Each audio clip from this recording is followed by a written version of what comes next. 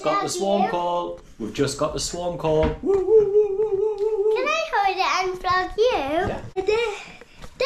Dance! So, car keys. We'll get the scare. Got the swarm collector. We'll head to the allotment. We'll pick up another nucleus just in case they're too big for this. Um, we'll catch a swarm. Come with me. You'll see it. Woo! Goodbye! Goodbye! More and more abstracted, doesn't it? So yeah, swarms. We are just leaving my allotment. My friend Sooz, who actually designed the logo for Pure Buzzin and that honeybee hole in the flag. And the whole point behind that to get the message across.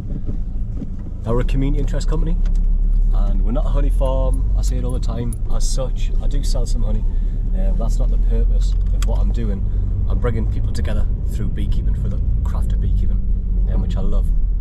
Sooz, who designed the logo for Pure Buzzin, I was in the shops getting with tea, getting some ingredients for tea. She texted to say, Dougie, I've sat down in my garden uh, with the headphones in, with a book, with the dog in the back. She calls the dog Magoo, really cool dog. Um, and she says basically, I've sat down, been there for about 10 15 minutes, looked to my right, and then I saw this clump of bees, and there was a swarm there. So just asked if I can go and pick it up. Yeah, and what a shock. Imagine if she sat down in the wrong seat and she decided to sit down on the place. Like, because these bees, you'll see them, they're like sat underneath the deck chair. And if she sat down, that she would have got such a fright. Basics of swarm, right? in a honeybee colony, there's the queen, one queen's laying eggs.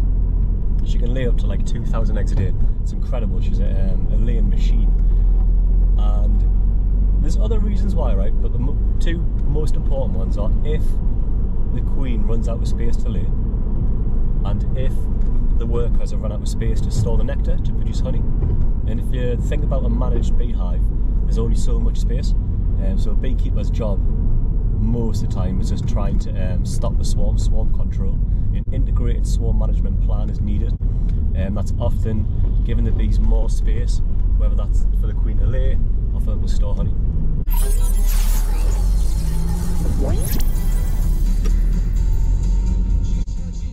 Yeah, sometimes swarms can be dead easy to pick up, and they are like, like I'm expecting this one to be, just clumped on the bottom of something, on the edge of something, and just drop them into a box.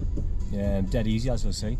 But there's been other times I went to get a swarm it's been like entangled inside of a bush, um, like a really prickly hawthorn bush, and they're just a right nightmare to get to.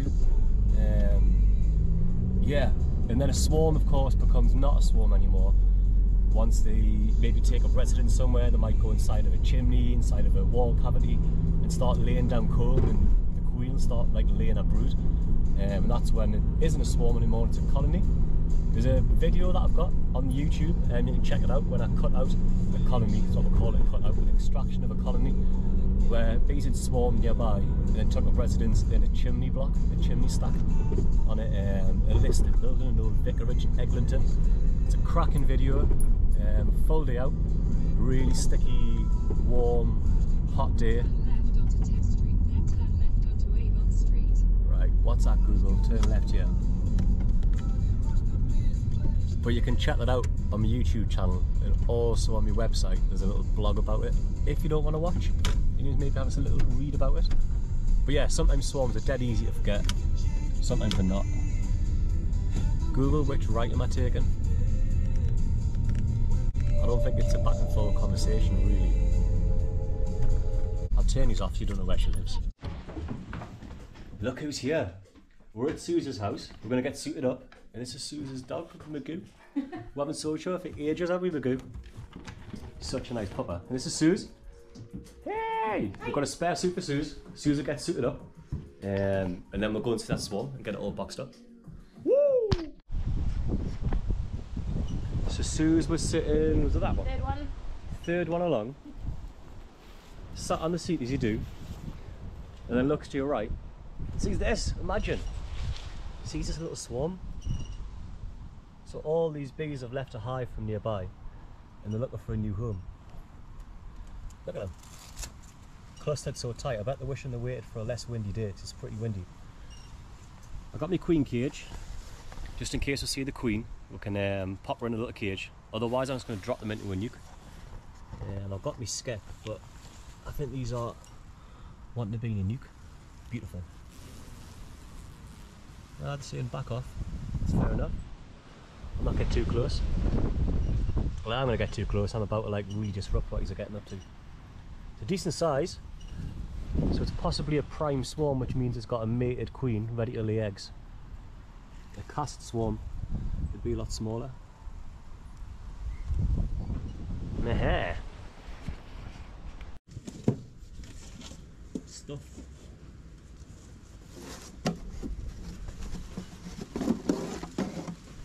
So we're gonna pop these in a nice new box.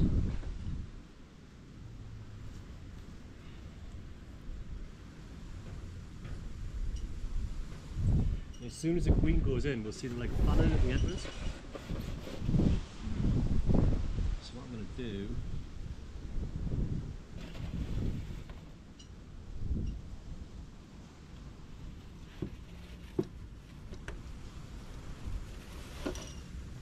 Just pick it up and knock them in. Hover them over the box. And one, two.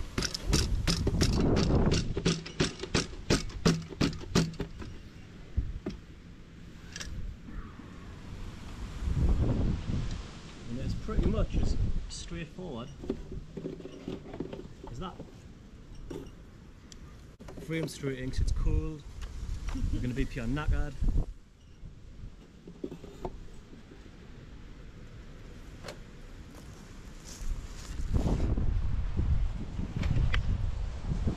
See them in there, just mishing about.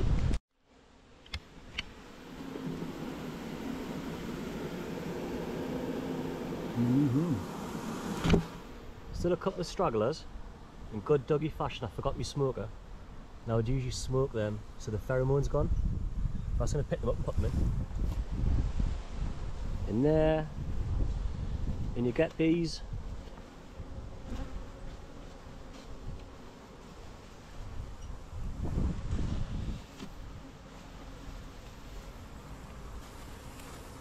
See, Susan's doing a good one and doing no more mere. So the grass is nice and long. So when I move this box, I have to make sure the queen's not there. But I'll shut these up for now. So what I'll do is I'll keep these locked in. Well, obviously the entrance will be open for them to come and go. But I'll keep them closed in, give them some better foundation. They should have loads of nectar when they're left there high. They should have like gorged themselves on nectar um, before they left. So I'll wait for them to start drawing out some comb. Yeah, just wait and see when they draw out the comb to see whether there is a laying queen in there. Hopefully there's a laying queen. And then everything's just good to go. So let's keep that feeder off for now.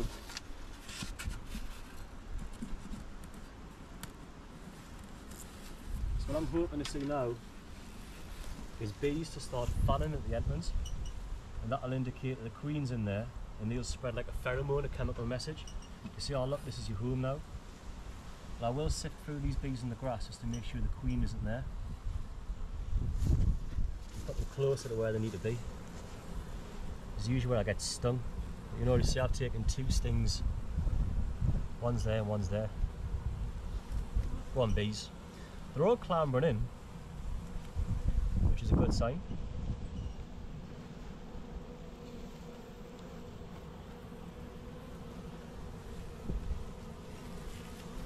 How are bees? You got a new home?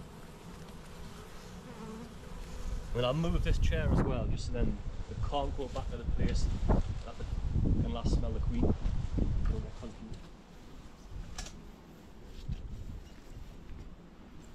This right where that was. And all those stragglers should make their way inside. You should smell it.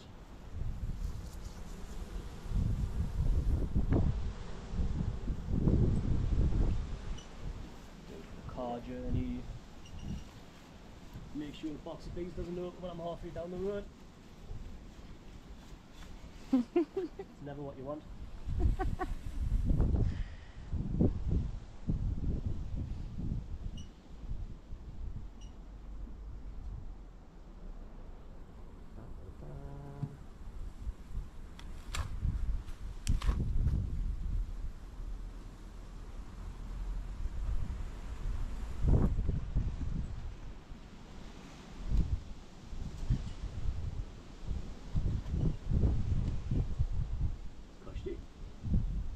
so they see them at the entrance there, sticking their bums in the air.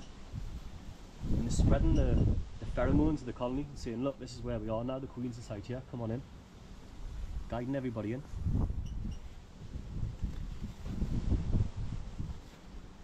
So I just find all the little stragglers and put them near the entrance. They'll soon get themselves inside, especially with it being so cold and windy. They won't want to be flying. If you pick them up like midday, you'd have to do this and then come back as the sun's coming down when all the other flying bees have returned. Otherwise, it can end up with like a couple of hundred bees coming back to the same place. But I'm pretty confident that most of them should be around here now. Go there in your new hive. You're coming to Meadowell. You, you can get in. You, you can get in. How many hives have you got now? Around 23, Well, that's pretty impressive. 24. There you go. With this, yeah. Some newbies. Yeah, that down the line.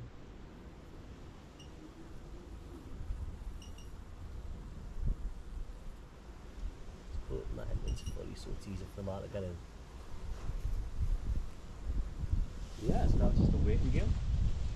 Give them five, ten minutes to pull themselves together and get inside. So all the bees are tucked up now. They'll all be clustered inside there. Which is good. No stragglers. Just slide that along. That's them sealed in.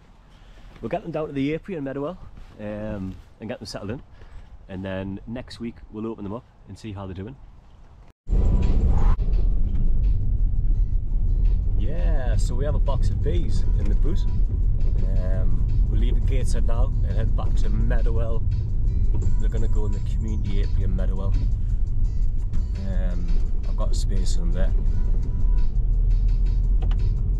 We'll see the journey, but basically I'm going to leave them um, in the nucleus box for a day or so. Let them use any of the nectar that they've held because before the swarm they'll like get loads of nectar stores just ready to set up a new home. So I'll let them use that and build up the comb. And then give get in there, see if the queen's laying, see if it's a viable queen. It was a fair sized swarm, it wasn't massive, but there might be a laying queen in there. It's a time of year for um, prime swarms. Then if they need it, I might give them a little bit of sugar syrup to help them draw out the foundation. Hopefully then they'll get into a um, nice full size colony. We'll see how it goes. Like last year and the year before and the year before I did a lot of swarm chasing.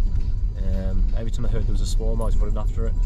Sometimes you get there and the swarms had left or it would be like an unmated queen that might not come back mated and then you use it on a spare kit for swarms. Whereas now I've got the kit to like use and manage my hives uh, so I'm not running out as much which is a bit more handy. You never know what you're going to get with a swarm that might be riddled with varroa and have other sorts of diseases that you're then bringing into your apiary. And really, I should be taking any new swarms to the farm, which I kind of use in the isolation apiary. Um, but it's getting quite late. I don't want to go down to the farm track like 10 at night and disturb them. Um, even though I'm sure they'll be cool with it, but you know. And my girlfriend Haley will not be happy if I get home with a box of bees. Uh, I've done it before and I said it wouldn't happen again. So I'm not going to let it happen again. So I'll get them Meadowell and we'll put them in the community apiary and then we're going to check them out in a few days and see how they're doing. And as with most swarms that I get, the first jar of honey I saw that comes from them, that's Sooz's. Um, a little thank you for passing on some bees for us. Yeah. So the drum bass is on. Woo! We'll get ourselves to the Meadowell. To the community apiary. With a couple of thousand bees in the boot of the car. Woo!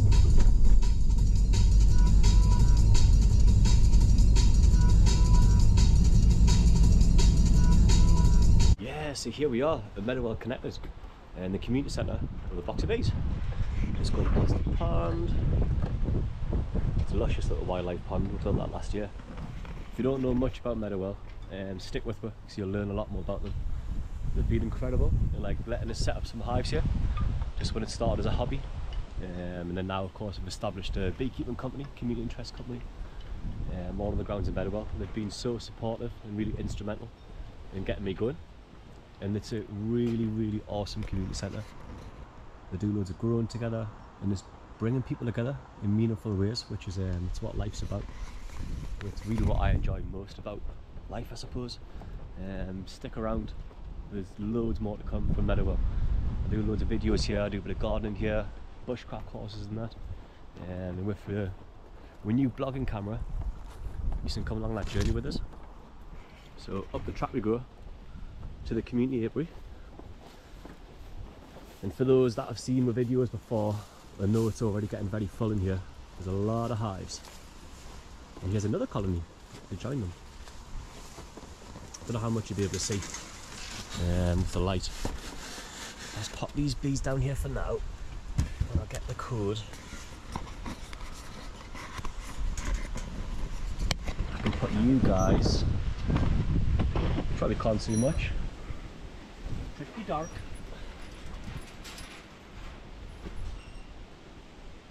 Get the combination in.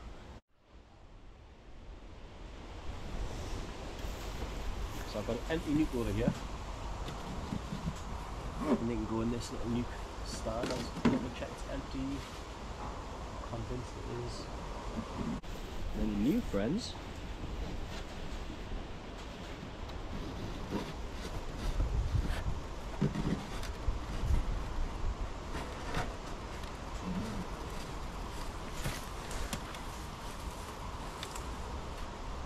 So yeah.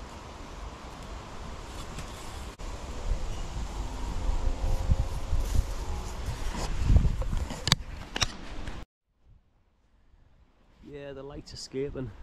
It's night time now, like fully night time. Um, that's them.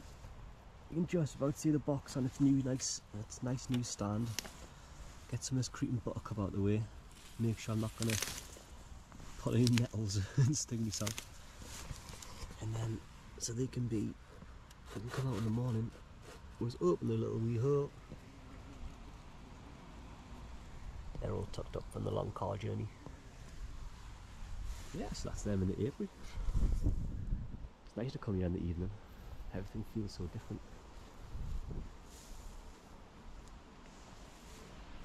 So not all these hives that you see have bees in them. Some of them are just um, spare bits of kit. I'll just keep close by.